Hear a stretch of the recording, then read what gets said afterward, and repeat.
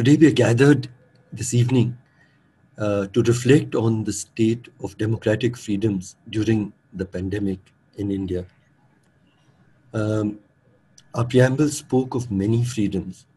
The freedom of, uh, it promised the freedom of thought, of expression, of belief, of faith, and of worship.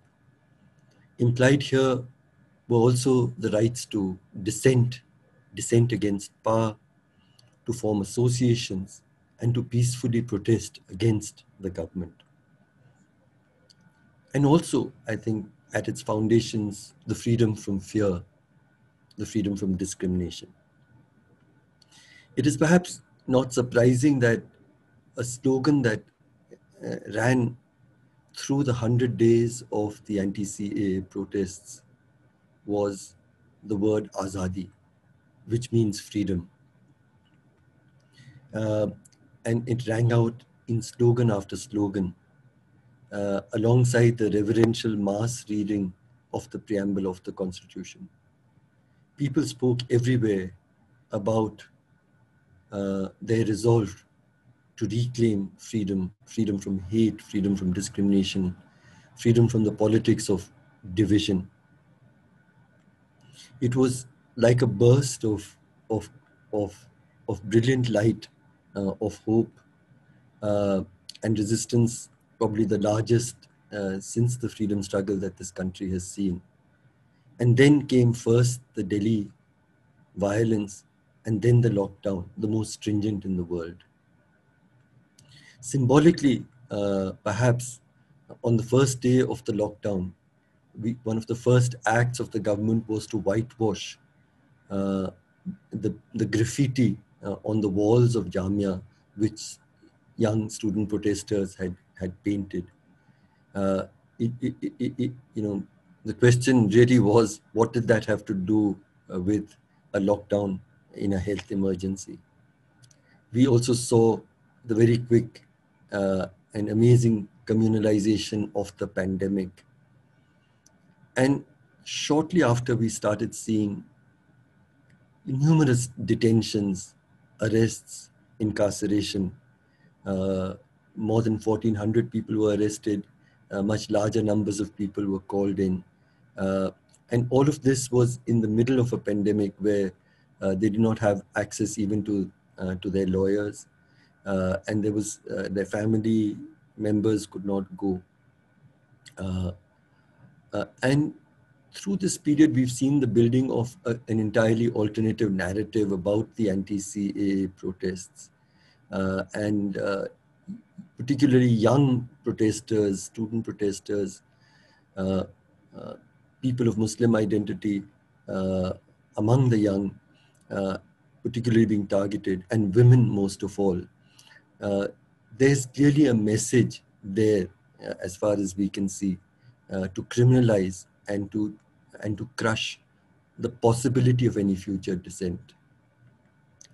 There are also questions that, that are relevant about how democratic was the decision of the long lockdown itself. Uh, who took the decision? Who was consulted? What was the scientific basis of, of that decision uh, to have the most stringent lockdown in the world? Even China, uh, at its peak, uh, locked down 5% of its population. We locked down 100% uh, with four hours notice. Uh, was that a, a, a democratic decision? Uh, who has explained uh, any of, of, of, of, these decisions? Uh, who has explained the outcomes? I, I, you know, just as an example, we have we had a night curfew for many months. A night curfew in a law and order situation makes sense. A night curfew in a health emergency could someone nobody bothered to explain was there some uh, you know secret uh, scientific information that they had that the virus suddenly became more deadly uh, in the dark uh, and through all of this uh, you know the suffering of the migrants the, the burst of mass hunger all countervailing institutions of democracy seem to have caved in uh, there's an enveloping darkness all around of foreboding and of fear. I believe freedom has never been as threatened in our republic as it is today. So I turn uh, to my panelists this, this evening uh, with the first of my questions. Uh, the question that I ask is, I believe, and, some people believe that this is a moment in the journey of our republic when freedoms are most under threat. Do you agree?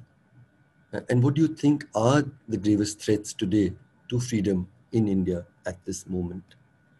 Uh, so no, no uh, uh, fixed order. Maybe Satish, uh, why don't you? Would you like to open up uh, with your with your response to this first question? In terms of the gravest threat to freedom today, I think is the fact that large numbers of Indians are feeling that they are free for the first time. That they are free from what they have felt to be false, a false kind of uh, set of values, and they're free to be who they are. Uh, at least this is the sense we are getting uh, from what is all around us. Uh, and I think that that is really the biggest threat to our freedom today. That uh, what some of us are seeing as the throttling of freedoms uh, and the targeting of particular kinds of people is being seen by others as the arrival of a new kind of freedom.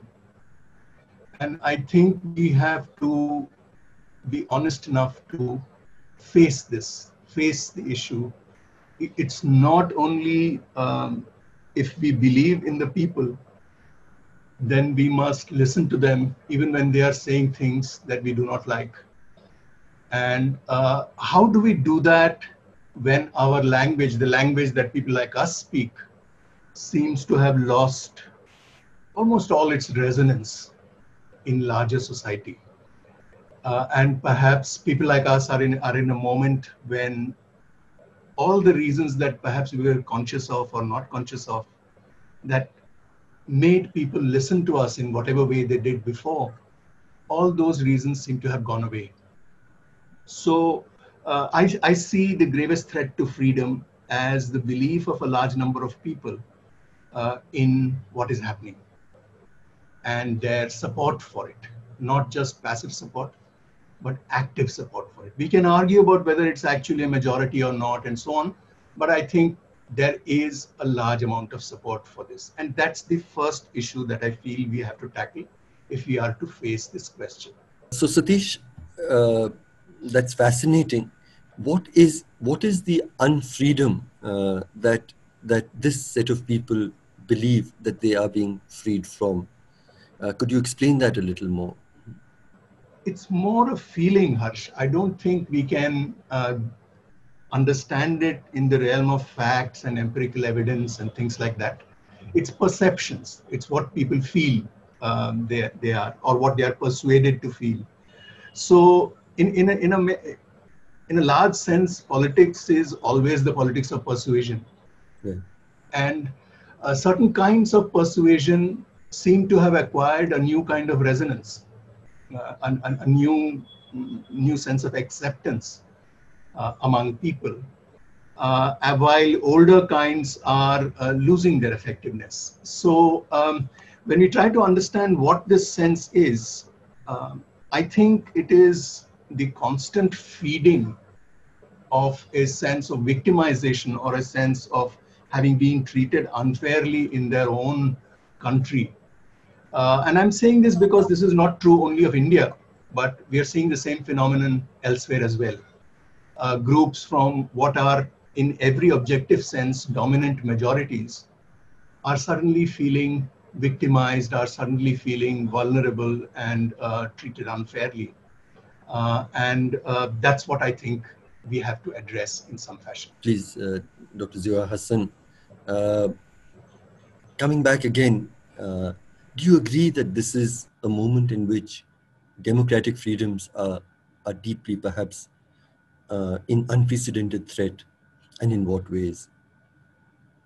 I do agree uh, that uh, never before have democratic freedoms and democratic been under uh, greater threat.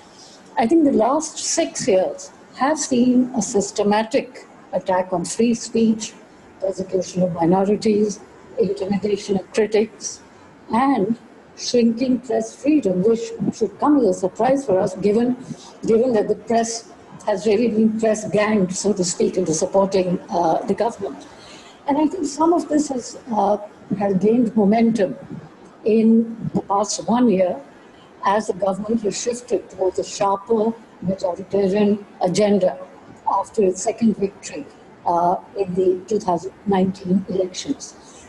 And I think there are three clear indications of that. One, the open involvement of the government and the state machinery in the construction of the Ram Temple in Ayodhya, the revocation of Kashmir's uh, special status and statehood, and the continued detention of political leaders in Kashmir one year down the line as we speak. Uh, and of course, uh, the Citizenship Amendment Act, uh, as, as you uh, so eloquently uh, spoke about. So the point there is that politically, clearly, the suppression of dissent, which includes the criminalization of dissent and declaring dissent as anti-national, curbs on opposition and curbs on protest, crushing of protests. I mean, clearly this poses a grave threat uh, to democracy. And I think what we've seen in the past few months in particular, and ever since these uh, anti-CAA uh, protests, that the regime has used a very heavy-handed approach uh, to put critics and dissenters in their place, which is, as we know, often injury. Sedition charges and the UAPA have been very liberally used uh, to arrest prominent intellectuals and advocates of civil liberties, such as those accused in the Bhima uh, Koregaon case. And also it has been so indiscriminately used to arrest young students from Jamia Millia Islamia and the Jawaharlal Nehru University, who so wonderfully led the anti-CAA uh, protests. But that said, in my assessment, uh, I mean, this is well known, I think the biggest threat uh, to democracy in India comes from the institutional collapse caused by a systematic assault on, as you said, the countervailing institutions of democracy. The independence of the Election Commission of India, the Central Bureau uh, of uh, Investigation, the Central Vigilance Commission, the Reserve Bank of India, right to information has been diluted, Parliament and its standing committees have been uh, severely uh, undermined. And then, on top of that, institutionally, the concentration of power in one person, the checks and balances uh, of constitutional government have clearly been very significantly weakened. The misuse of police, as we have witnessed in the past uh, three to four months, of the, even after the lockdown, uh, tax and investigative agencies against the political opposition, constraining very much the opposition from really uh, going forward in opposing uh, this government. Uh, all these are clearly gross violations of the Constitution, which actually put our democracy at risk. I would argue that never before have constitutional institutions have had to function for political ends and in such partisan ways uh, when there's no formal declaration of emergency.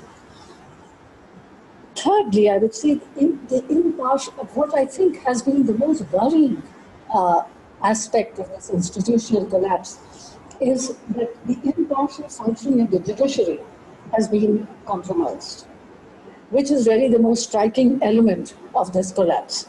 Over the last six years, we've seen a striking decline in the role of the Supreme Court as being the guardian of the Constitution, of fundamental rights of citizens, and the rule of law. Habeas corpus, the CAA, application of Article 370, petitions challenging electoral bonds have been postponed to suit the government. But to me, the biggest indication of uh, the compromisingness, so to speak, of the judiciary is that if the courts can refuse to hear habeas corpus, then the court's mandate to protect liberty cannot be taken for granted, even though we know that individual freedom is at the very center of the, uh, of the uh, court's mandate. And finally, I think, uh, which is a really very important part of the story that we are uh, discussing, and that is the mainstream media. I mean, I cannot say enough about uh, the way the media has functioned and the way in which the media has been captured by an establishment outlook. And it has completely abdicated its responsibility of speaking truth to power. I mean, the media has undoubtedly, uh, especially uh, television, uh, television, has night after night asking very tough questions, but only from the opposition and not from the government. Now, this is extraordinary uh, when we compare, uh, compare our country or our democracy and, the, and democracy and the media, so to speak, with other countries. It's extraordinary because in most uh, democracies, the media is the watchdog of the government. But in India, since the BJP came to power in 2014, the media is the watchdog of the opposition. Now, if we take all of these four elements uh, that I've spoken of, and especially the three elements of the institutional uh, collapse, and I'm sort of including media within that institutional architecture, there is reason for us to really worry about the future of our uh, democracy and obviously the need uh, and, and, and the need to really strengthen our efforts to safeguard democratic rights. Thank you. Uh, Kiruba, can I come to you next, please? Uh, uh, do you agree that this is a moment of great, perhaps unprecedented darkness uh, in our journey as a republic? Yeah. So uh, I see this pandemic lockdown as the new national emergency because if the government is expecting us to stop from being uh, involved in our normal activities, the government should also stop from amending laws, bringing up new laws, and they should also stop, uh, you know, pass the administrative measures. Whereas citizens were made to, uh, you know, uh, uh, stay away from their day-to-day -day activities, whereas the government was keep on going on with its activity itself is more undemocratic in a um, you know, in the present circumstances. And apart from talking about the arrest of uh, Hany Babu and uh, Northeast activist uh, and also non not releasing uh, women, uh, female activists, CAA activists like Devangana, Natasha, Gulfisha, there were uh, more important legal amendments that were made in the labor laws, which is, uh, you know, uh, missed from the um, discussions on the social media. So in the May 2020, there were a protest of labor unions and they couldn't gather in, ma in mass numbers because of the lockdown. And uh, the protest was uh, against the amendment to the uh, labor laws, which was brought by Yogi Adityanath, Adityanath uh, led UP government.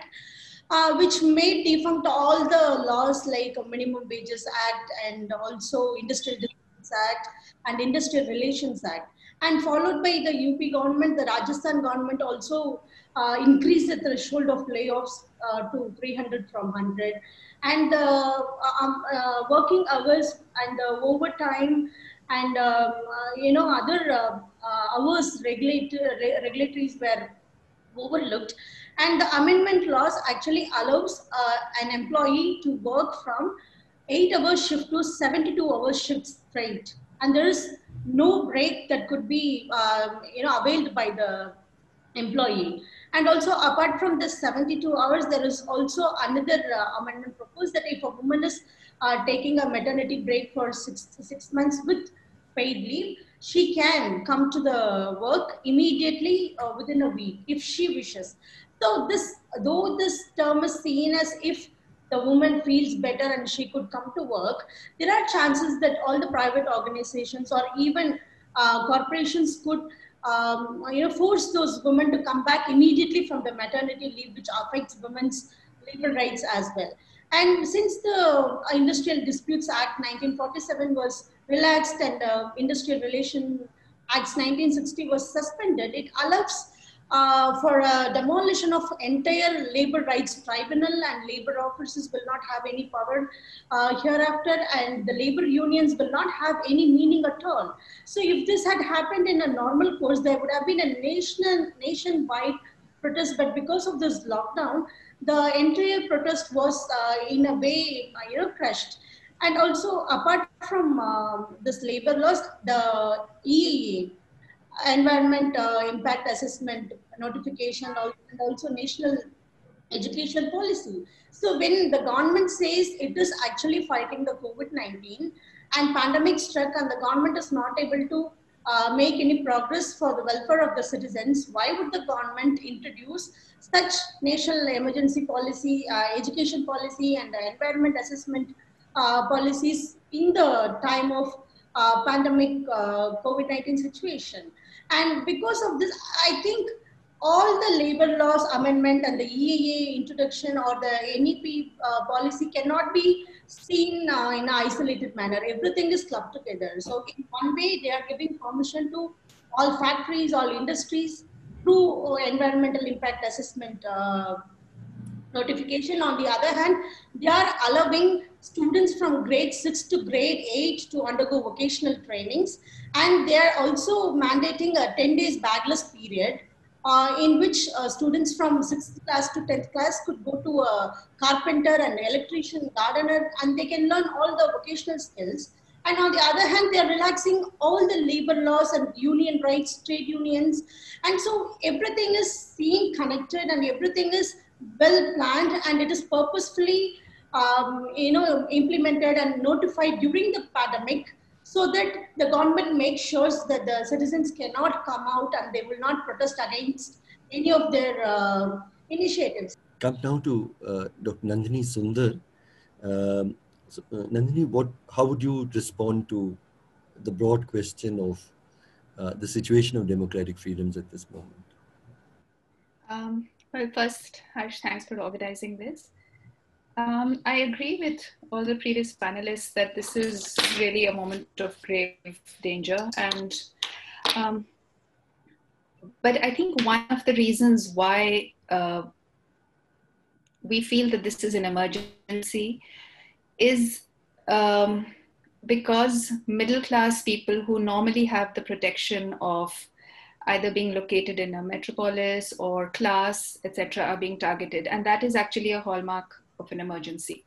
If you compare it to the previous emergency, again, that's something that we saw um, then because um, in a way, large portions of our population have been in states of emergency, you know, right from 1947. If you look at the Northeast, look at Kashmir, uh, you look at the ongoing kind of uh, situation of Dalits and Adivasis, a lot of it um, has been about the denial of freedom. And so the idea that, you know, there was never asli azadi uh, is something that we really should uh, take into account. But having said that, I think that you know the comparison that is usually made between uh, this period and the earlier emergency um, is important, uh, precisely for the reason that Satish pointed out that. Uh, this is more dangerous because it's not seen as a top-down imposition, uh, but it's something that people are uh, have internalized the you know the degree of consent to what is going on now is much greater than it was then at least i mean it's hard to say because there was a lot of support for that emergency as well at least on the surface um, on the day of uh, on the 5th of august um, you know in my colony there was this loudspeaker going on opposite the dargah which um, you know, apart from the usual abhi bhagwadhari aane wale etc. It said phuliyon, uh, uh, phulo se aarti, uh, uh, se aarti. You know, and it was just this constant chant about uh, we are going to demolish more mosques. We are on our way. Uh, se tilak karo, goliyon se aarti. That was the constant refrain. And um, I think that this idea that people are feeling unleashed from the constitution is something that is very serious. Um, now, I'm not clear whether it's a reaction, you know, it's often called uh, say racial resentment or sort of upper caste backlash white backlash etc but in a way it's also a continuation of an ongoing uh, system of domination, which was briefly checked by the constitution, briefly checked by Nehruvian socialism, and now we are back to that open, naked reassertion of Hindu dominance, upper caste dominance. Uh, so I'm not sure, you know, in a historical framework, whether this is um, a moment of greater unfreedom, but regardless, it's a moment where we are certainly unfree, we are certainly facing an emergency, and I think we need to figure out how we're going to counter it. We're not going to be able to use the institutions of the media or the judiciary, as Zoya pointed out. Uh, those are not accessible to us anymore. Uh, we really need to think of avenues now whereby we can actually uh, reach out in a variety of different ways. And um, I don't have answers. I don't think that uh, this is something that you know will necessarily be one large effort. It's going to be many small capillary efforts.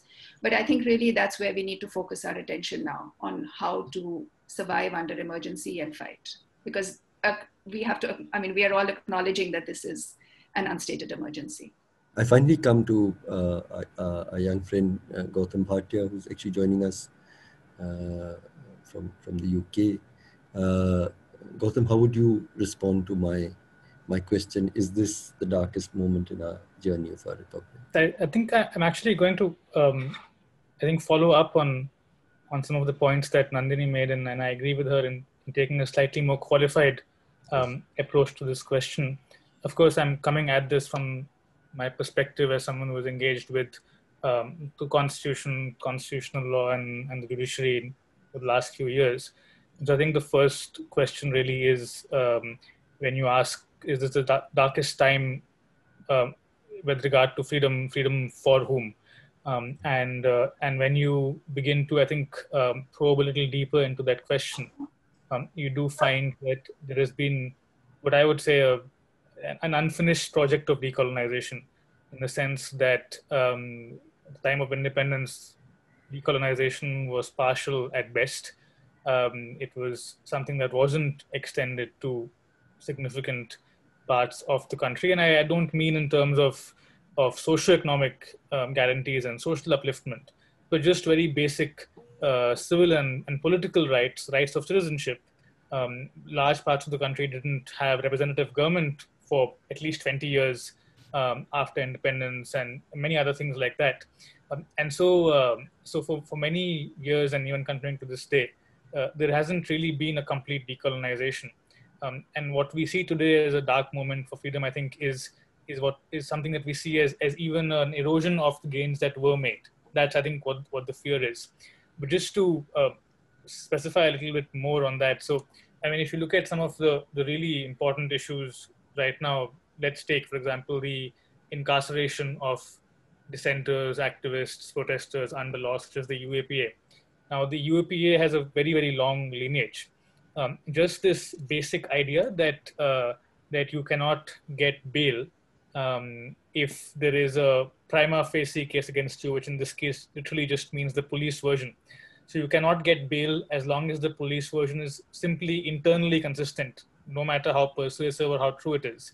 And so you stay in jail until the end of, of, of your trial uh, that has been a staple feature of, of Indian laws from pre-colonial, uh, pre-independence times, carrying forward into uh, into independent independent India and taking different forms in different in different um, uh, in different ways, different laws. There was an original UAPA, there was the TADA, there was the POTA, and now there is the new UAPA. And uh, when we talk about the judiciary and the judiciary's recent collapse um, into the executive, uh, these laws have been consistently upheld uh, over time. Uh, so you know we have this whole um, this whole idea that the ADM Jabalpur case during the emergency was the nadir of the Supreme Court, where it completely given to the executive.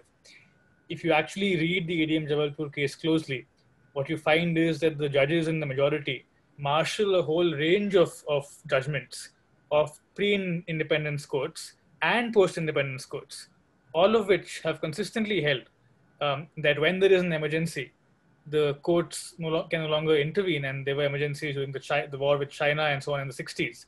We had judgments back then that pretty much hold exactly what the ADM Jabalpur case does, but they don't form part of a you know lexicon because the emergency occupies, for good reason, that level of space uh, in, our, in, our, in historical landscape. Uh, so, so something like the UAPA has deep antecedents that go uh, far, far back. Um, and uh, and so if we if we are to contest what's happening today, I think the first thing is to acknowledge um, that uh, the problems we face have very old roots. Um, not only do they have old roots, but in many ways they are sanctified by the same constitution that we uh, stand upon when we protest and when we dissent. Uh, Marx had this very famous phrase when he was examining the 1848 French constitution, where he says that every constitution has its own negation contained within it. Uh, that's true for our constitution as well, in provisions that explicitly authorize detention, um, that that provide for wide-ranging restrictions on fundamental rights. That in various places have phrases like "notwithstanding anything contained in this constitution," which effectively creates a black hole. Um, uh, and the courts have held that that means that that fundamental rights chapter is also excluded uh, from consideration. So if you actually read the constitution, if you examine the moment of framing more closely, um, what you find is a very patchy story.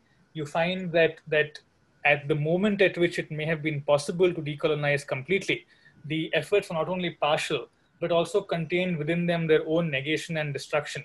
And the history of constitutional interpretation after independence has been a contested story between the Constitution's emancipatory impulses and its repressive impulses. And what we are seeing right now um, is the dominance of those repressive impulses, but a dominance that is traced back in a continuity across the years. Um, so what I would say, therefore, is that that yes, it is of course a dangerous time for freedom.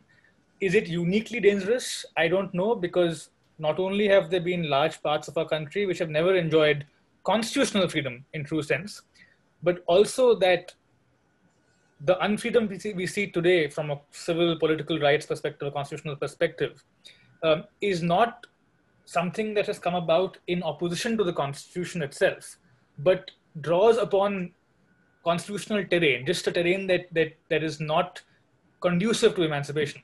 And so I think the solution, therefore, again, I'm, I'm, and this is my perspective as somebody who engages with the constitution as document, as doctrine. And so this is complementary to uh, other forms of resistance and protest, is to begin by acknowledging that the constitution itself allows so much of this, and to then ask ourselves, uh, what might a, an emancipatory constitutionalism as practiced look like? Well, that's that's uh, that's uh, that's that's really uh, interesting and valuable. Uh, I think you what you've reminded us is that there are segments of our people who never enjoyed even the civil and political freedoms that we speak about, let alone freedom from want, uh, uh the social and economic uh, freedoms. Uh, that the present moment is really has roots in failures contained within the constitution itself and and and in in the practice that has followed i think these are sobering reminders uh, even as we look look at this moment.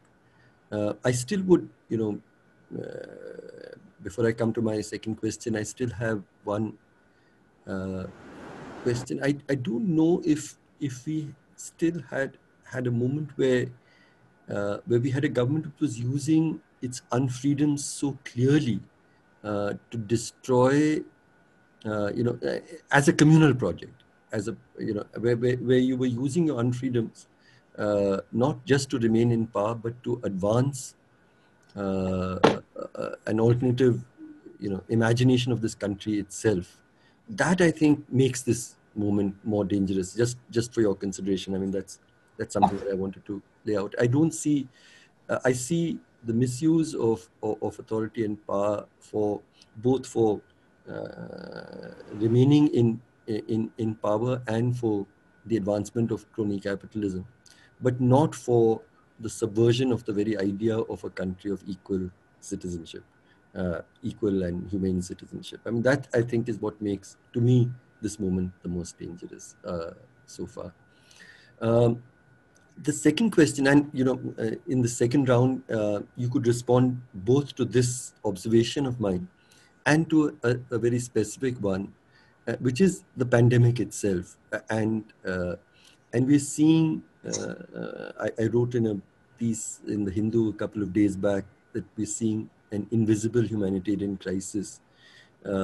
It's it's you know that we're seeing levels of mass hunger and unemployment and suffering, uh, perhaps greater than in, in, the last half century in its scale and depth. Uh, and yet it doesn't seem to be uh, anyone's sort of anxiety or concern. Uh, as Kiruba said, many other things seem to be preoccupying both the government, but also the media and also the uh, middle class discourse.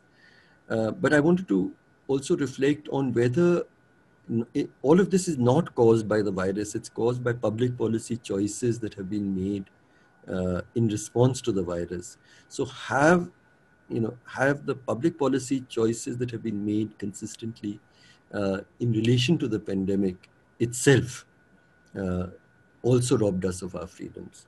Not what they not not what they did alongside, but in it, in the in the response to the health emergency itself, uh, did that uh, in, in, in many ways uh, destroy our freedom. So I have two questions and I go back to the group. I thought I'd go in reverse order this time. Uh, so Gautam, would you like, like to come back to you? I think on the, on the, on the, on the issue, the second round of questions on the issue of, of the pandemic um, and, and the undemocratic uh, character of, of addressing it that we've seen. Um, so there, there, are two or three things that I think are worth uh, flagging.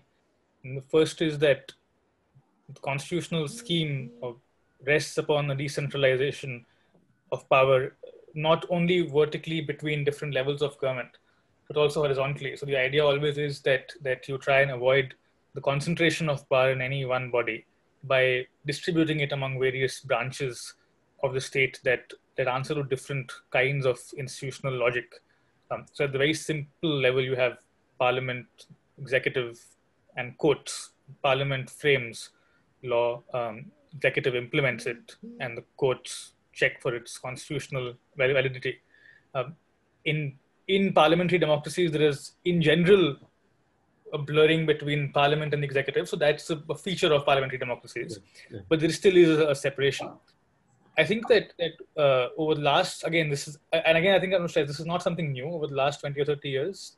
There's been uh, I think, a shift towards what in the US they call the imperial presidency, which is that the other branches of the state begin to lose relevance as the executive begins to encroach upon their, their spheres and, and they're unable to resist. Again, if you look at the constitution, seeds of this are contained in the constitution and the institutions of governors, ordinance making powers, and so on.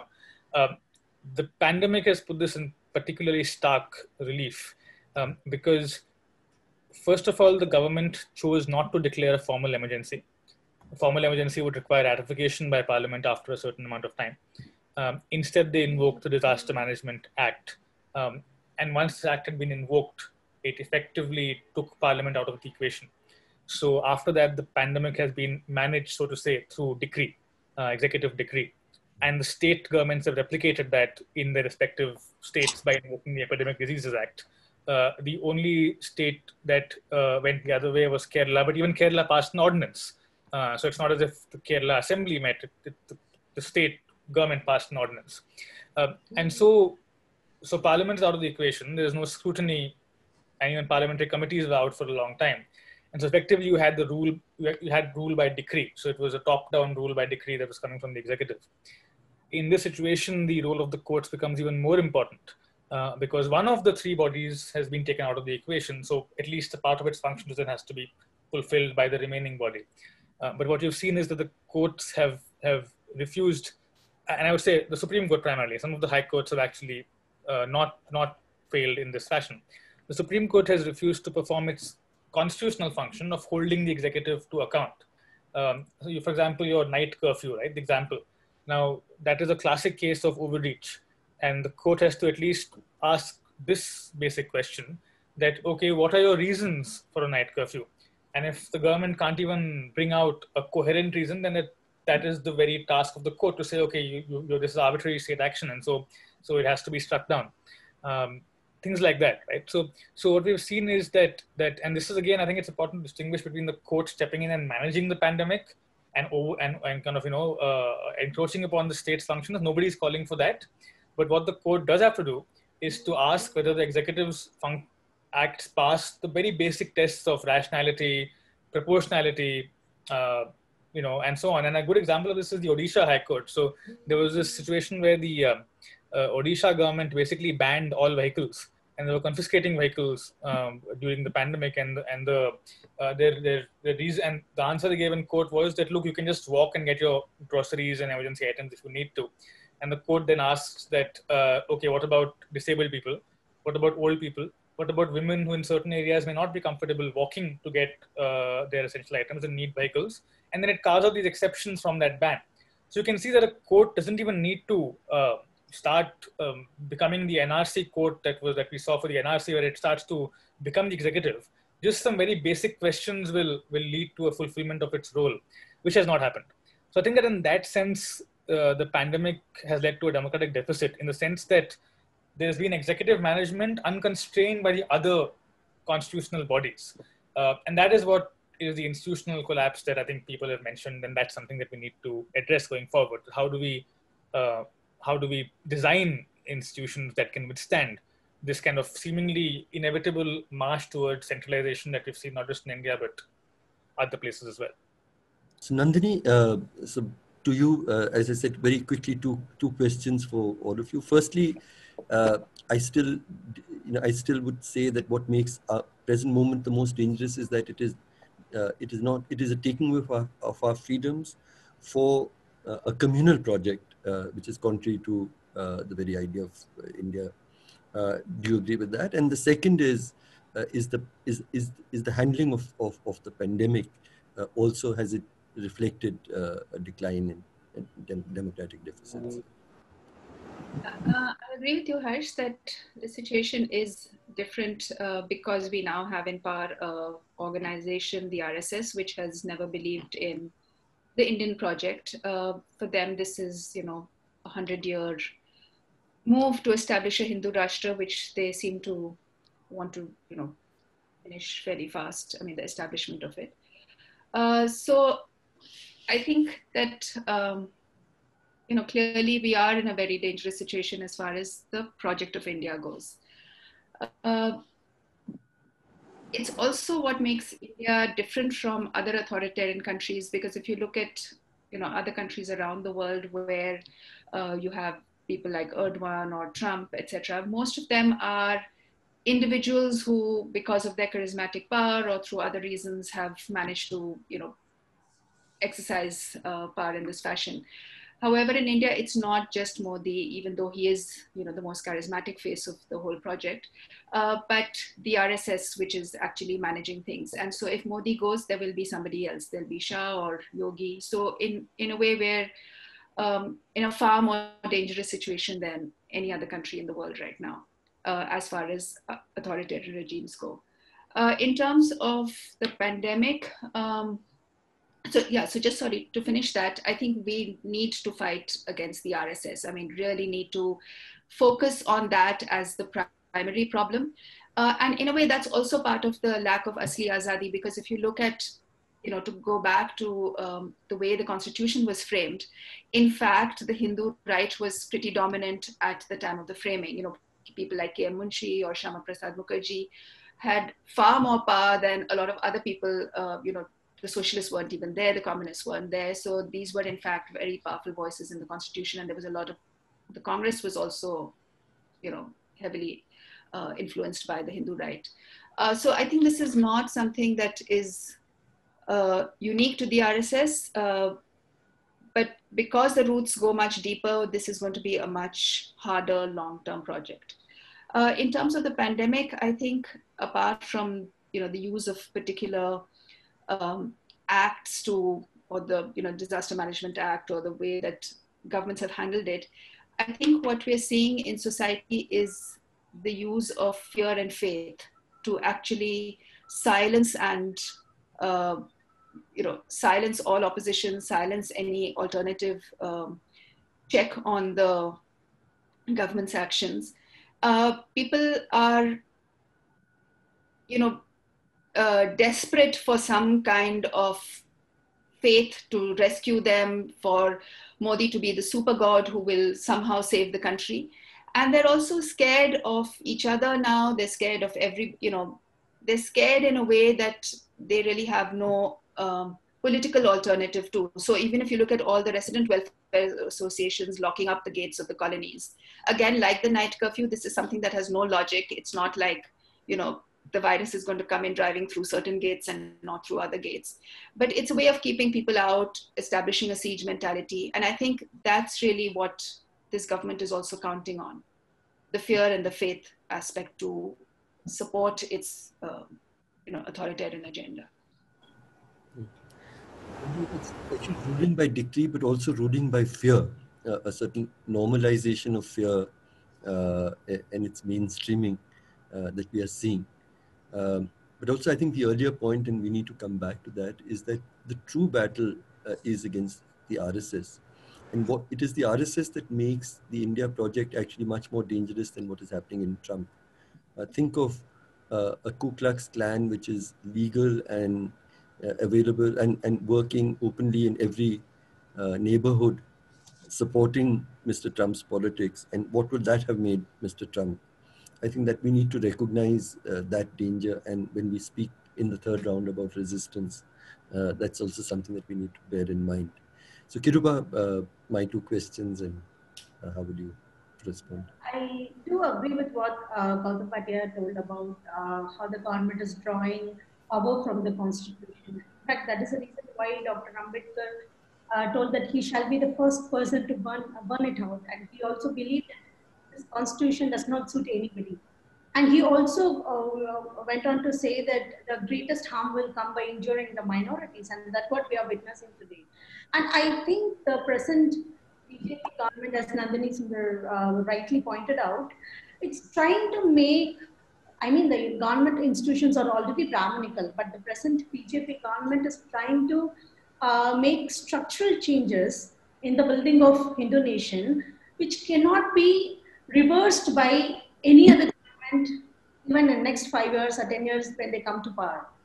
So I think it's a clearly uh, well planned, uh, you know, thing. And even from what Tejasvi Surya, you know, raised on the day of Ayodhya Ram Temple Foundation laying that he says the government, the state power should be controlled for the sustenance of dharma.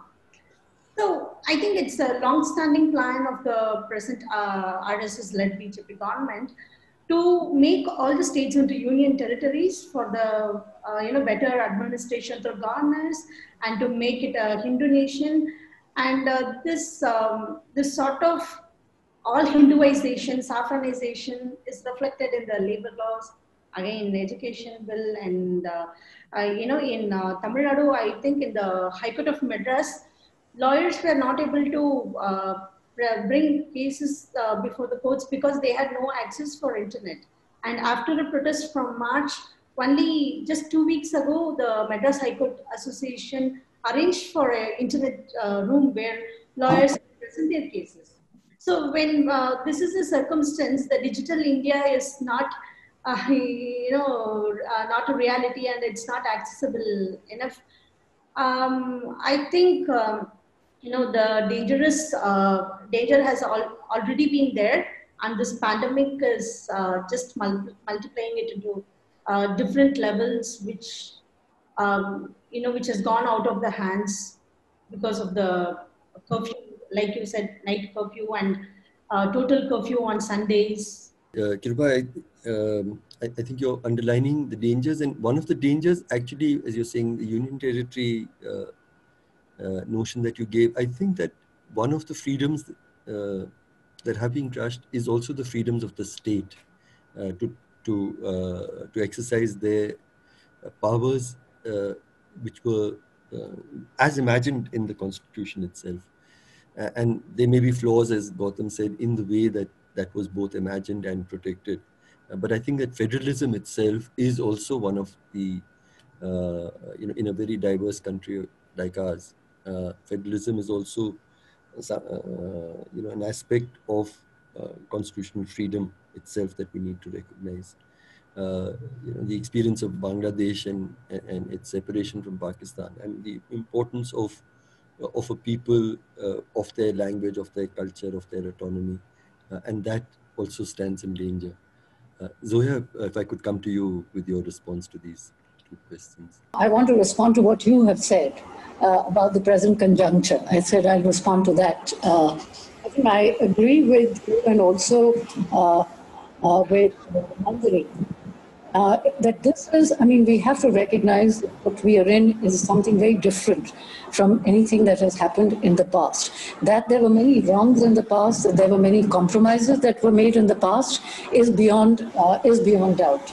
But I think the, uh, the point is that we have to recognize that this is a uniquely different political conjuncture. And why is it different for the reasons that you and, uh, and Nandini have pointed out, because this is the first time that we have a full-fledged right-wing government.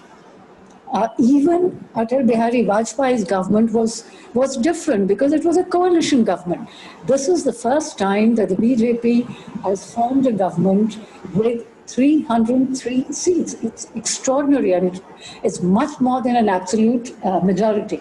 Secondly, Secondly, this is a government that, for all practical purposes, is controlled by the RSS. There is no, no getting away, uh, no getting away uh, from that. And I think so. Therefore, my point uh, uh, uh of agreement with you would be that while in the past uh, we can point out many compromises, but what is now underway is a programmatic. You see, one thing is pragmatic compromises. The other is programmatic attempt to establish an authoritarian Hindu state. I don't think the issue is just a communal project. It goes beyond that. It is actually the establishment of an authoritarian Hindu state. That is what is underway. And that is what will threaten democracy. That is what will threaten uh, equal rights uh, and equal uh, citizenship. And surely the compromises of the past pale in comparison with the political actions of the present. And I think there are two, or three issues which again make our response to this so much more difficult. One is that, you know, I mean, we, we don't often discuss the party system.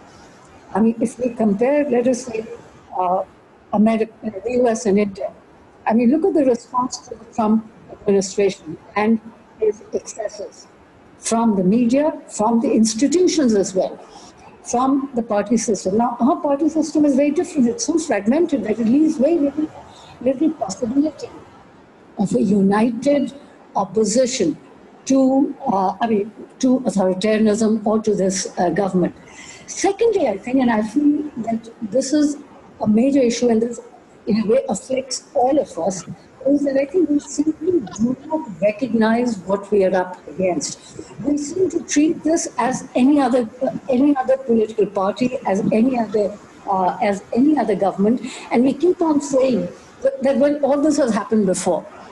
Now, if, if all of this has happened before, there's very little reason for us then to be worked up about it, or to be upset about it, or to organize and protest against it because presumably this moment will pass because after all, all such uh, dark moments and as a lot of people seem to think that there's, there's continuity. I want to emphasize that there is a fundamental discontinuity between the present and the past. And until and unless we recognize the discontinuity, I do not think, for those of us who are really interested in resistance against this, we are not going to get, uh, get very far. Now, your, uh, the question that you circulated about uh, the pandemic, uh, well, I mean, much has already been said, so I don't want to really uh, repeat that, except to say that uh, it's significant that this whole COVID-19 you know, crisis, which is disrupting uh, global politics, happened at a time when democracy, as I think Dhruva pointed out, and perhaps Nandini also pointed out, at a time when democracy was already under stress and under assault in in many parts, uh, many parts of the world. This virus provided an opportunity to several leaders to accumulate unparalleled powers uh, as part of their attempt to contain the spread of, of, the virus. So interestingly, on the one hand, the virus strengthened, you know, the regimes of leaders like Orban or uh, Duterte in the Philippines or uh, Erdogan, for example, in, in Turkey. And on the other, it has uh, skewed the relationship or the power relation between governments and citizenry in favor of the former in countries which were not as authoritarian as Turkey, Philippines, and so on, such as, for example, India or uh, the United States. So, uh, so I think this is important. The context in which this uh, outbreak, I mean, this COVID outbreak happened is important. And, and, it, uh, and the pandemics uh, amplify the ability of political leaders to craft authoritarian measures more justifiably, so to speak, to deal with this, uh, to deal with this uh, crisis. And I need not go into all, all that is being done by way of consolidation of power by, uh, by authoritarian leaders or even by uh, uh, democratic or populist leaders in curbing individual liberties, restricting uh, the space for civil society and so on. Now in India, I think in India since March 25, March 25th, when the first nationwide lockdown was announced. And until now, I think it is significant that the virus curve hasn't flattened. In fact, the caseload, as we speak, is rising steadily. And the official toll of 45,000 deaths is very high, even though, uh, you know, the government and its spokesman remind us every day uh, that, uh, that the fatality rate in India is not high compared to, uh, compared to other countries. And I think the significant point is that when, this, uh, when uh, the severity of the pandemic hasn't really subsided, but the political costs and consequences of this complete lockdown on democratic rights have been very high. And I would say, the, I would just say, put it very briefly, uh, I think the, uh, the consequences from the standpoint of democracy and democratic freedoms can be grouped under three subheads. One, the state-led subversion of rights and liberties. Two, the exposure of disadvantaged and vulnerable populations to unprecedented economic hardship. And three, the suppression of information through curbs on media and on dissemination of uh, inter uh, intervention. And, the and we can see the consequences. First of all, uh, a point that I think has already been made, it bears uh, being underlined again, that the COVID scare put an end to the most remarkable uh, protest that India has witnessed ever, which was the protest against the CAA. After the outbreak uh, of the pandemic, the government moved in very quickly, it acted very uh, swiftly uh, to remove the sit-in uh, protests, of course, in Shaheen Bagh and Lucknow and in, uh, in many other, Bhopal and so on, and so on and so forth. Uh, and, and of course, as significantly, government went against, went after activists who participated in this movement and has gone on to arrest so many of them who were associated with this. Second, I think this draconian lockdown, perhaps the most stringent lockdown anywhere in the world. And as you said, for example, China, uh, at any point in time, uh, only 5% uh, of its population was affected, whereas it was 100% in India, and for weeks on end. It was not as though this lockdown lasted for three weeks, as the Prime Minister had initially uh, announced. It went on for close to, I mean, for nearly uh, maybe uh, two months. And even though we are in unlockdown now, there's still so many restrictions uh, that are still in uh, still in place. So we are far from normality, uh, so to speak. Uh, so I think the, this draconian lockdown that was imposed at just four hours' notice, which did not happen in any other part of the world, has clearly widened inequality in the past, gender, and religious divides in India, which anyway is a leader in discrimination and inequalities. I mean, we are, we are a world leader when it comes to discrimination and uh, inequalities. And then the pandemic, on, on top of that, as I said, aggravated and exacerbated those, uh, those divides and inequalities. And I think uh, nothing demonstrates that, uh, demonstrates that more than the condition of thousands of migrant workers whom we all saw walking hundreds of kilometers on foot to uh, their homes. That is perhaps the most stinging indictment of the state's apathy, and I might add, even of democratic indifference, if I might, uh, if, if, I might put it uh, this way. And obviously, uh, the government's hurried announcement affected the livelihood of 450 million uh, workers, or perhaps even more than that, in a country where social protections are so limited, unlike other countries which were uh, imposing lockdowns. Look at the social protections and also look at the way in which those countries in Europe I mean, we have imitated Europe and so on in imposing lockdown, but we are certainly not imitating those countries in providing the kind of social and re- relief packages that those countries have uh, have provided by way of cash transfers, by way of salaries, by way of so much social support. There are countries which already have social security, and, on, and in addition to that, governments have announced huge uh, relief uh, relief uh, packages whereas our uh, relief package, the less said about it, uh, less said about it, the better. And then I think, I mean, point that has already been made, and I, I don't want to really relate it, that is, the muzzling of the critical media, and the point that I think Kiruba made in her opening remarks, which is suspension of labor laws, which, is, which has really to do with the pandemic. Uh, it's really very serious, and it's very clear that several state governments took advantage of the pa- pandemic. Of course, the leader in all this has to be the, my, the state of UP, which took the lead, followed by, of course, many other, uh, many other uh, uh, state governments as well. They were quick to dismantle uh, protection for, uh, uh, for laws. But interestingly, the pandemic hasn't stopped, I mean, while all of this was being done, the pandemic hasn't stopped the government from going ahead with major policy initiatives like the national uh, education policy, uh, the giving approval for the Central Vista project. We must not forget that. That all this is has happened now, and of course, not to speak of the of the grand uh, Bhumi Pujan for the grand uh, Ram temple.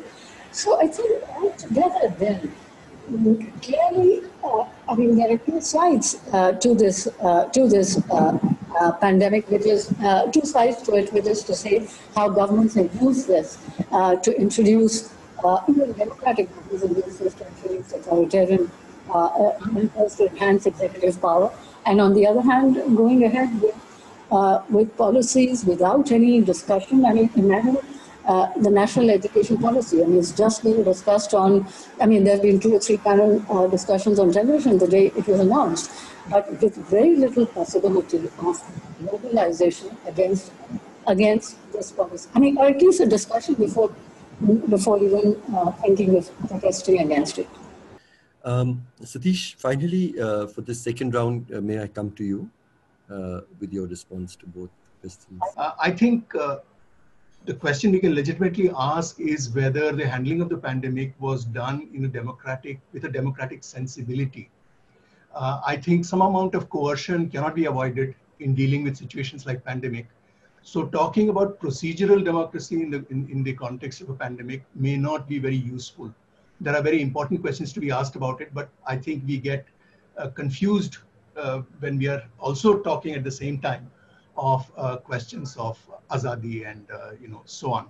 So in my opinion, they, they should be talked about differently.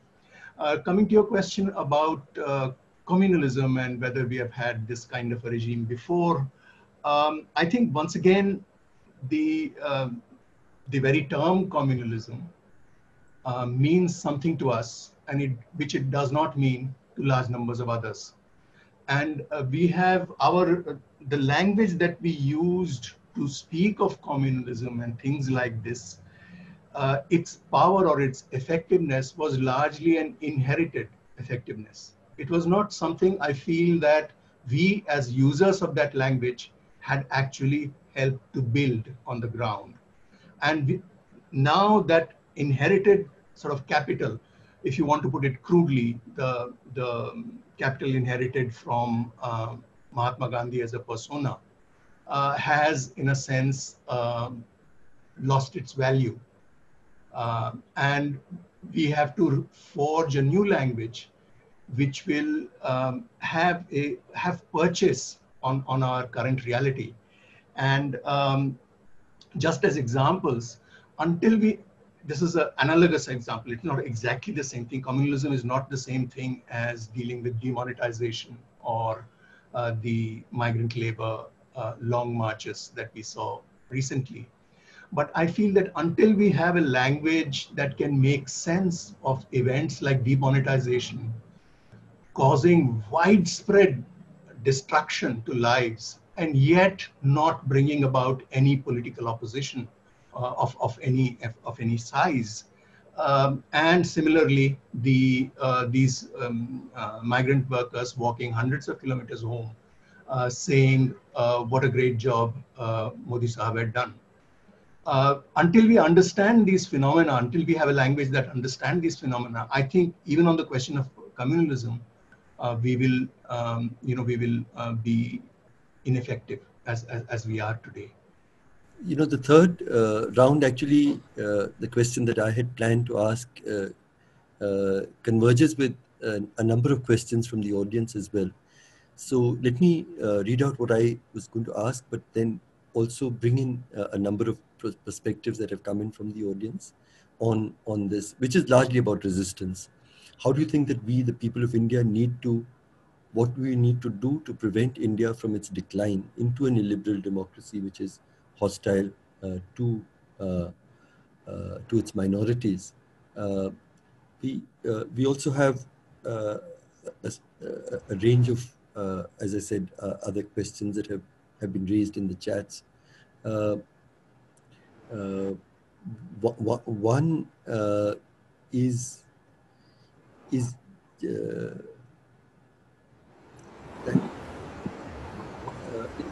what are the possible avenues to resist? This is from Vandana Srivastav. While there are a number of people currently supporting the present government as stated by Professor Deshpande, we may be surprised by the number of people wanting a change, to put it mildly. The NA, uh, NPR protests took many of us by surprise. That does give us some hope.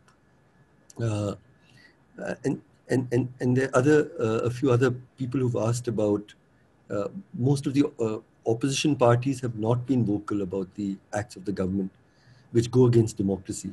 Would it be realistic to expect from them at this juncture uh, to, to lead us in, in, in any resistance? And how do we work without them if, if, if they're not going to be there? Uh, uh, another Hina has asked, how do you see the freedom to protest in the time of pandemic when online protests are being organized uh, but whereas mass mobilization still influenced by the Gandhian era of mass movement uh, doesn't seem possible. Um, Noor has asked, uh, don't you think there should be a network of WhatsApp and social media groups flooded with fact checks, peace committees of responsible citizens, collection of video evidence, justice forums? Civil society alone can shorten this curve of human suffering. It will continue as long as politicians find it electorally beneficial. Uh, and there are many other questions of the same, uh, on, the, on the same, uh, of, of, of, the same tenor.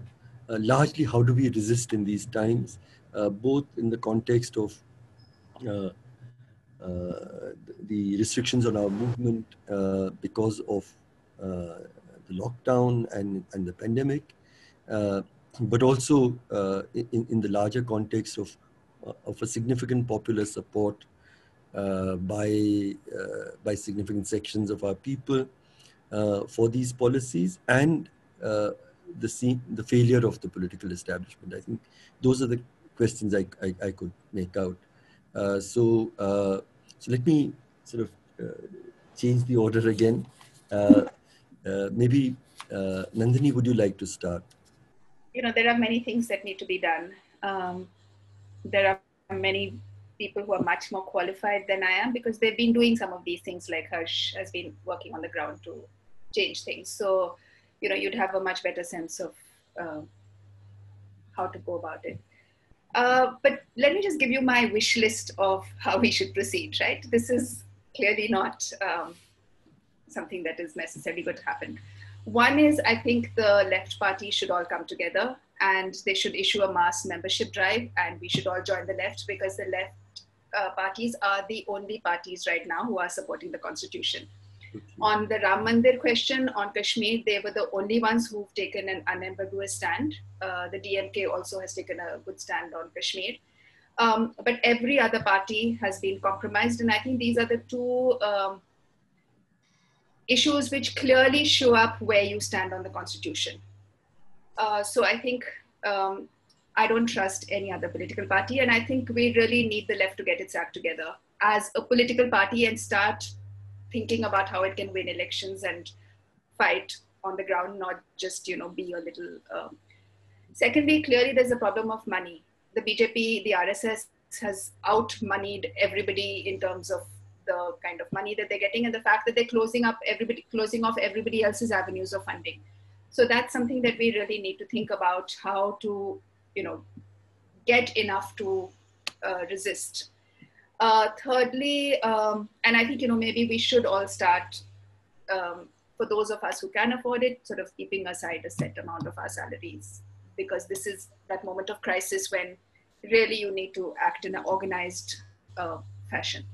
Uh, thirdly, um, I think uh, we need to provide an alternative narrative. Um, and there have to be a lot of young people who are savvy with the media, savvy with different kinds of ways of speaking, who have to get involved in that. And the CAA anti-CAA protests were a great moment for that. And you know, we have to abandon fear. I think that's the most important thing that we have to somehow, uh, and I succumb to it all the time as well. This kind of uh, especially with the pandemic, you know, chalo, okay, when the pandemic gets over, I will start getting active kind of feeling. So that's something that we all feel, and we're also all scared, especially with now what's happening in Delhi and uh, the mass arrests. But you know, there has to be a way of keeping an alternative language going and develop it further.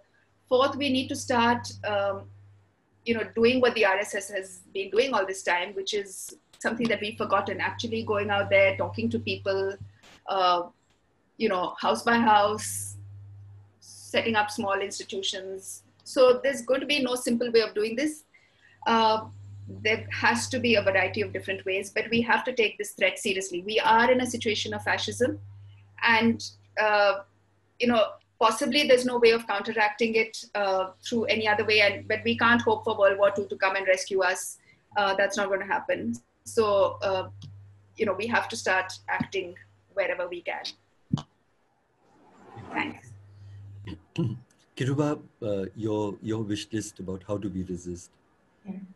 Uh, with no offense, I think the first step is to realize that e-protesting or digital media campaigning is not going to help. As a person who has been on the ground, I strongly believe mobilization of masses is going to bring a productive or it, it could be uh, you know more productive than hashtagging um, sitting somewhere abroad and the second step is that i think uh, i disagree with nandini sundar because the left party supported ews reservation and they also supported Ayodhya uh, Ram Mandir thing. And we, as Dalits and marginalized sections, we don't trust left parties anymore. I, I can trust DMK, but I can't trust Communist Party of India. There is so much of um, uh, you know discussions and debates that have to be made.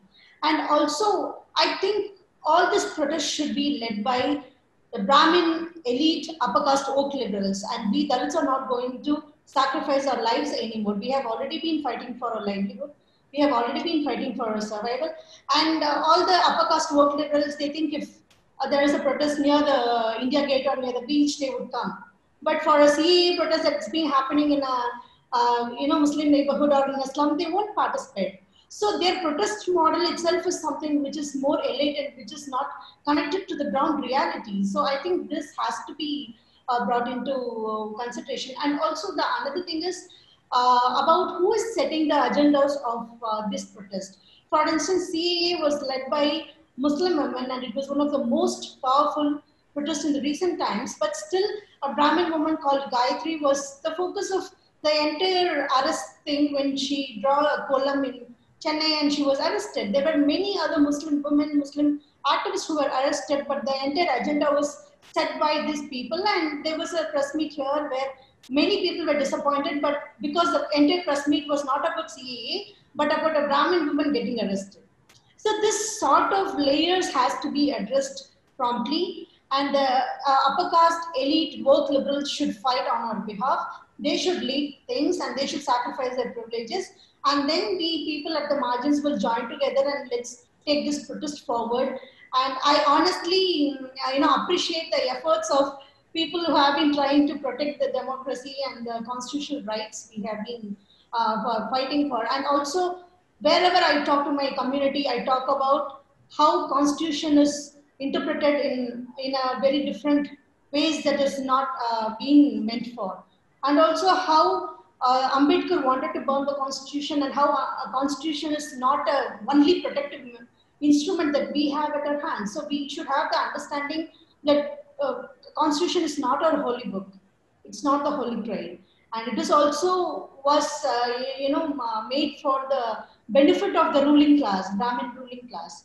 So this sort of nuanced understanding of the reality and coming together with, uh, with more uh, acknowledging, more understanding and acknowledgement of privileges and underprivileges and giving way for uh, leadership for marginalized communities like we did give leadership for Muslim women in the CAA protest would be the only way that we could take this fight forward. So great. Uh, so leadership uh, for uh, oppressed people uh, themselves with solidarity from people of privilege. Uh, uh, but you were saying also, and Gautam, that's why I thought I'll come to you, holding the constitution in one hand, but also challenging it in the other as part of our resistance. So what thoughts do you have about resistance at this moment, Gautam? Yeah, I, I'm, I'm going to defer to what the others have said because, you know, my, my primary work is is in institutions and institutions are not in the best of shape right now. Uh, so, so, uh, so, so I, I, I, am going to defer on that. On, on the broader point, uh, I just what I just say is that I think that, that I think it's correct um, to to appro- to to take um, a, a, a, a, critical view towards the, the constitution as an instrument or as, as a terrain on which power is negotiated. Um, and so I think so while I think it's it's very important. Um, I, I, found it moving and important that the CAA protests took the form of constitutional language and especially the preamble, uh, because the preamble, I think the beauty of the preamble is it's universalist in its scope. Um, and, and so it's something you can adopt for yourself, uh, no, no matter who you are, because of the principles that it, it lays down. So I think that was, that was important. Uh, and at, at, the same time, I think as, as, as Kiruba has said, and, and as, as I tried to, to, to say in my initial remarks, once you get into the nitty gritties of the constitution, what, what you find is that, that it has repressive and emancipatory impulses that are in conflict and uh, the manner in which it has been uh, implemented over time has been uh, such that the repressive impulses have gradually uh, almost you know um, overshadowed its emancipatory impulses and so i think that that um, that a resistance a vocabulary of resistance that uncritically um, rests on the constitution is a, is a problem because even if such a resistance movement was to prevail, it would risk reproducing the same problems that that, con- that confront us right now, only in different guises, uh, in different in different guise. Uh, and so, I think my limited contribution here would be that that um, that a vocabulary of resistance has to take a critical approach towards the constitution and ask itself uh, in what ways has the constitution actually been a repressive document um, and in what ways can we can we reimagine a constitutional framework um, that would avoid those pitfalls?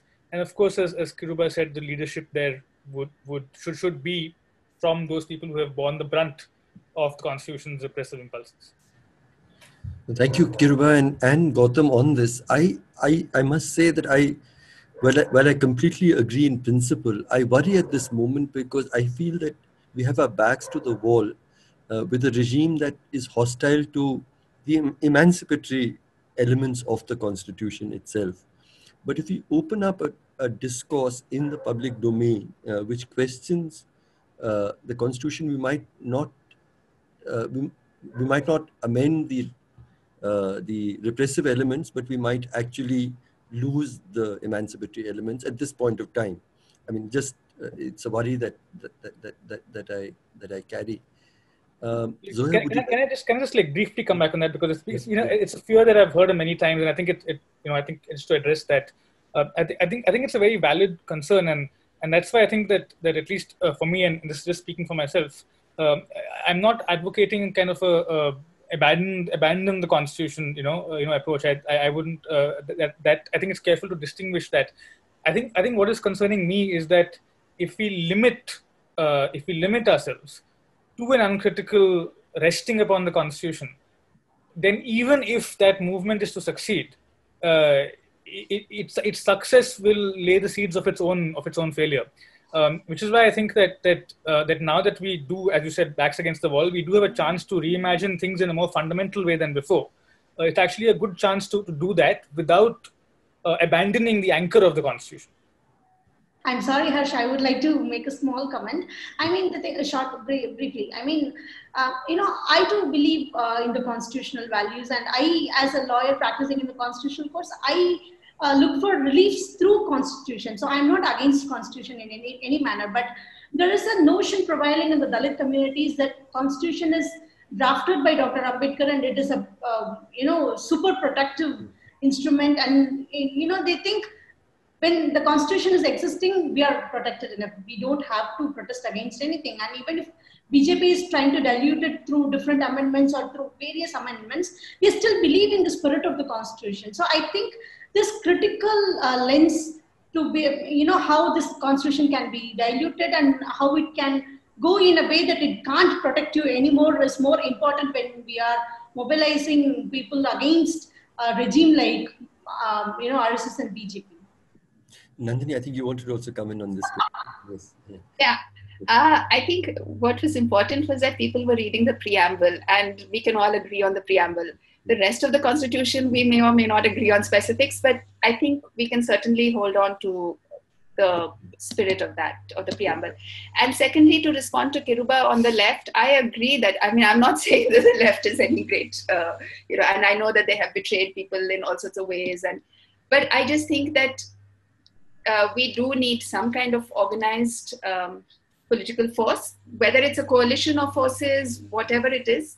Uh, but one needs to start getting serious about achieving political power and not just in the sense of, uh, you know, having uh, different movements. And uh, it's not going to happen like that. That's of course, that is why I added that there has to be more debates and discussion on how to come together as uh, left movement, right?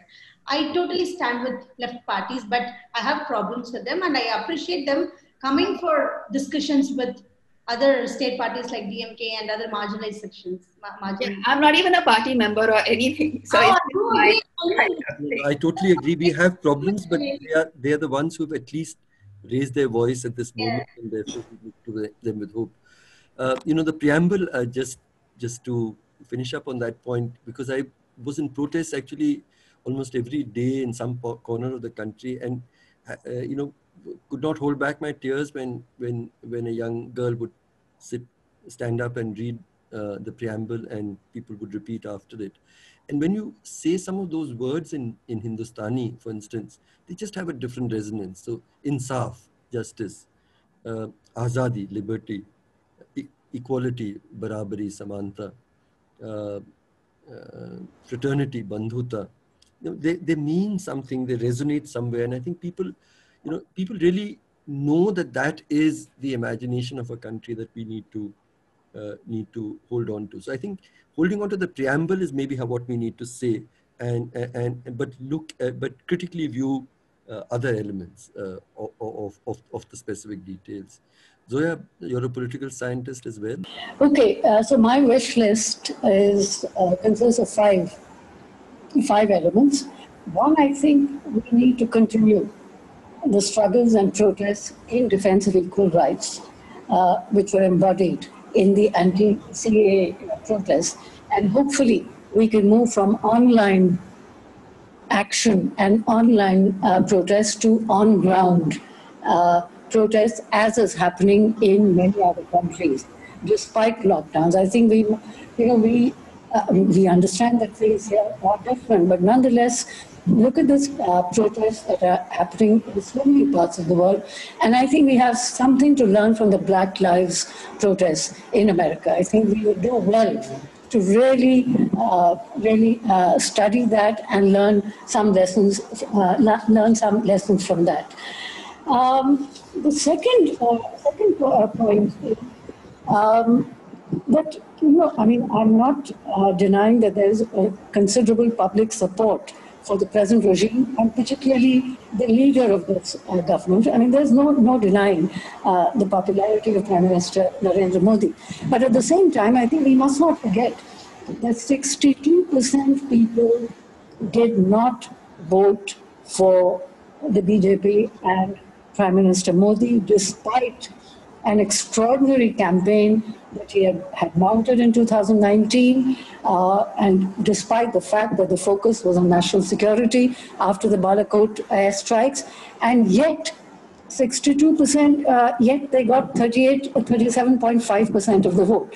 Now, this is something which is significant before we, uh, you know, before we sort of uh, get very uh, pessimistic. My third point is that uh, the opposition must unite.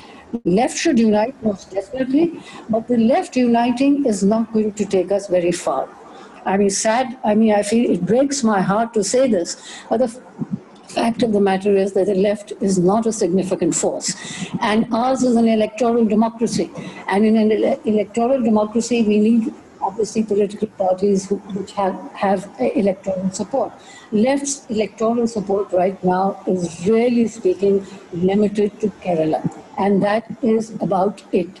Not even West Bengal, as was the case in the past. So, therefore, I think what we need is opposition unity. And what we need is a united front against, uh, against the present regime.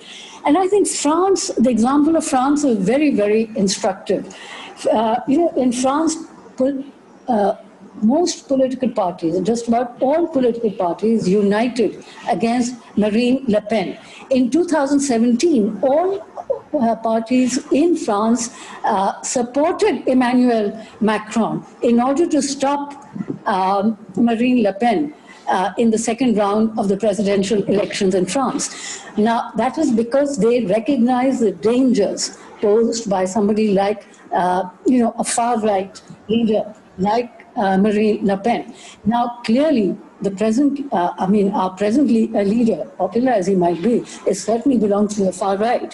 And therefore, we need the same kind of unity here, I mean, the same kind of opposition, uh, opposition unity uh, to take on, uh, take, on, uh, take on the government. And my fifth point is that I think civil society has to work with political parties. I agree with um, with Nandini. I mean, civil society is extremely important, and the kind of work civil society is doing is is important. But ultimately, in an electoral democracy, parties count, and there's really no alternative to a party-based and to a party-based uh, democracy. And therefore, I think civil society has to work with parties to strengthen uh, strengthen the opposition against this government uh, opposition unity is, is, what civil society needs to struggle for, uh, is what Zoya tells us. Satish, your wish list for resistance and for change. Uh, thank you, thank you, Harsh. I, I um, I'm happy to go along with everybody's wish list so far uh, because I, I don't really have uh, anything substantial to add to that. What I'm interested in really is modalities. Whatever it is we do, how do we go about doing it? And uh, there are two elements that I would like to emphasize there. One is what I think already mentioned by one or two others, including uh, Nandini. We have to operate at the level of the everyday. There's a sense in which protest, in, in inverted quotes, becomes um, something special, something exceptional uh, in our language. And whether we are conscious of it or not, we tend to romanticize it slightly. Uh, and we need to get away from that and uh, start thinking uh, in the in the RSS mode. of, of the everyday, of a long drawn out continuous thing. Uh, the second thing, which is equally important, and uh, this refers a lot to what Kiruba has been reminding us um, uh, so, so effectively, whatever we do must be infused with a new sense of self-reflexivity, of attention to what we sound like to others, who we are, what we, what we represent to others. Uh, there, is a, there is an over easy sense in which we have people like us particularly those privileged by uh, class and caste and so on, uh, have, uh, have uh, tended to assume that we are representatives and that we speak for uh, you know, the people of India or other such phrases. Uh, I would like, I would want all of us to be a little, little wary of using phrases like the people of India and so on when we speak. And we need to be very, very conscious of who we are and what we sound like to others it's only when we speak to others, not for others, uh, that I, I feel we can we can get ahead. But in terms of actually what is to be done, I'm very happy to go along with the other panelists and their lists. So thank you. I think uh, uh, you know just before we close, uh, one round of last comments, uh, just a, a, minute or two each uh, about anything that you feel we need to take away from this discussion. Satish, why don't we start with you? No, I just wanted to thank you. I mean, um, we are, I know we all feel that this is less than something else, but if this is what we can do, we should do this. And uh, it's important to survive this phase. There are times where you just need to last out, you just need to endure. This is one of those, and we should help each other do it. Thank you. That was lovely. Uh, uh, Kiruba, would you what would you like to? So what I might say might amount to sedition, but still, I think things will definitely change, and uh, oppressed classes have always raised against any, uh, you know, this sort of uh, very uh, fascist regimes. So I'm very optimistic that all the oppressed classes will come together and they'll fight this uh, fascist government. But it is quite possible only with the solidarity of people who have uh, voices in the um, you know institutional level and in the policy making and also in different places. So unless they realize their contribution in making this country more democratic, our fight, it's going to end up with more blood and you know more bodies. So it's on the hands of the uh, upper caste, upper class, folk liberals how uh, you know how far they uh, want to take this protest in a non-violent manner. But do you feel hopeful, Kiruba? Of course, of course. We have already been fighting, you know. Mm-hmm. Uh, we have been fighting for our survival. We have been fighting for a livelihood. I, as a lawyer, have been fighting for 11 years just for my recognition. And look at the Muslim communities. They have been crushed like anything, but still they have, uh, you know, rose up against uh, this uh, CAA and we oppressed communities are always willing and we are always ready to come to the streets. And of course, and that's why I keep reiterating that we are going to bring, uh, you know, true uh, independence to this nation. But do you want to participate in it? Do you want to benefit out of it? It's your choice.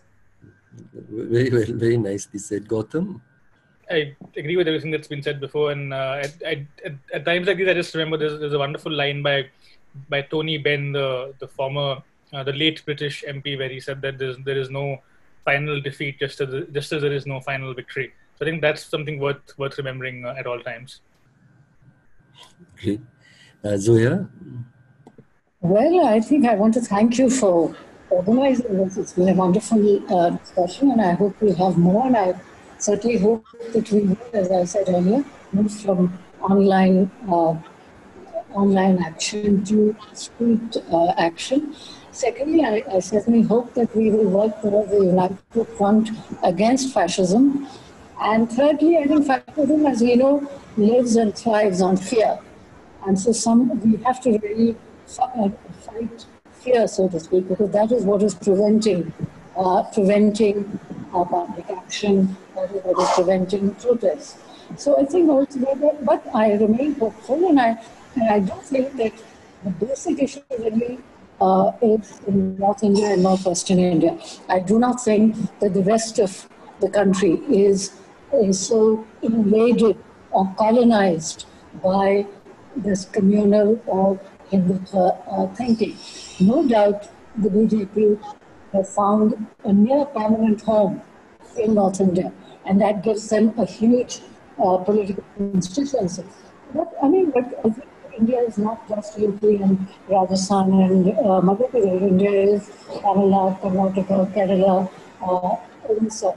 And surely there are possibilities of organizing and you know, resisting this uh, onslaught. Thank you. And Sundar, uh, Nandini? Yeah, I'd just like to uh, thank you, Harsh, and uh, thank the other panelists. And um, I mean, like everyone else, I'm hopeful. Um, we don't have any alternative but to hope. So thank you. Thank you so much. Thank you, all of you. Uh, uh, I mean, your presence and your words, I think this is a moment where, you know, locked up in, many different ways. Uh, there's, uh, you know, and, and seeing an event like the Ram Mandir uh, extravaganza a few days ago, you know, you know, when hope seems begins to look fragile, it is important for us to come together. I think these conversations are valuable. They're expressions of uh, solidarity uh, and in the end hope. Um, uh, I, I Sartre somewhere had said, "You don't fight fascism because you will win. You will fight. You have to fight fascism because it is fascism." And I think that's the beginning point. And whatever happens, we have to continue to resist. Uh, there's also Martin Luther King who said uh, that uh, the arc of history is long, but in the end it bends towards justice. How long it will be, we, we, we will need to see together. And lastly, something that got me into trouble and why the Delhi police claim wants to lock me up uh, is something that I said to the students in Jamia, which was I said, in the end, I don't think this is going to be resolved. It's the question of what kind of country we want to leave to our children. It won't be resolved in, in parliament, uh, Zoya said, but I I still worry about our political opposition. It won't be resolved by the courts. Uh, it will be resolved by we the people in, in, in their fullness and as Kiruba uh, says, it, it, by, by oppressed people and by people of privilege standing in solidarity uh, with humility with them. But most of all, I think it is going to be uh, resolved in ha- our hearts, your hearts and my hearts. Whether we've allowed both hate and fear to get colonize our hearts or whether uh, uh, love and freedom is what we what we locate in our hearts and i think that's where the ultimate resistance is so thank you all of you uh, very much for this evening